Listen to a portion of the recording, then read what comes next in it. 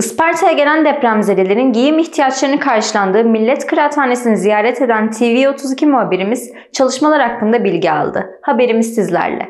Depremzedelerin kıyafet ihtiyaçlarını karşılayabildiği kademdeyiz. Merhaba. Merhaba, e, Gonca Kayacan ben. Kadın ve Demokrasi Derneği'nin Isparta İl Temsilcisiyim. E, burada afetzedelerimiz için hazırlanmış giyim bank, e, gıda bank ve ayakkabı mağazamız var. E, ayakkabı mağazalarımız, e, giyim bankımız ve gıda bankamızda e, yaklaşık 20 gündür afetzedelerimize hizmet veriyoruz. Yönetim kurulu üyelerimiz, gençlerimiz, il milli eğitimden gelen e, kıymetli öğretmenlerimiz e, valilik himayesinde açılmış olan e, bu binada hizmet veriyor. Şu anda e, kimler yararlanabiliyor bu haktan? E, ilimize misafir gelen tüm e, afetzedeler faydalanabiliyor.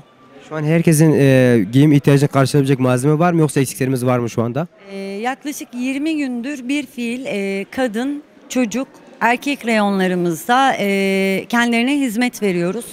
E, bir ailemiz bir kere alışveriş yapıyor, bir daha gelip eksiklerini tamamlıyor.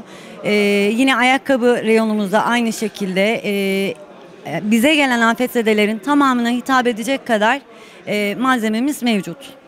Peki ne zamana kadar sürecek bu organizasyon? Sayın Valimizin e, direktifleri doğrultusunda şu anda devam ediyoruz. E, ilimize gelen afetzedelerimizin e, yeni gelenlerin girişini net bilmediğim için hani bu soruya net bir cevap veremeyeceğim ama e, gönüllülerimizin gücü yettiğince elimizde malzeme olduğu sürece e, çalışmaya devam edeceğiz. Teşekkür ederim, tebrik ederim sizleri. Ben teşekkür ediyorum. Çok sağ olun.